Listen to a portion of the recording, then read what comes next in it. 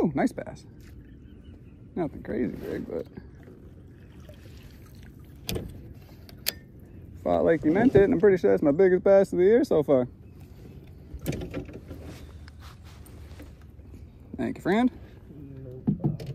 Thank goodness the crankbait didn't get too stuck up in there. Oh yeah, that's my biggest one of the year.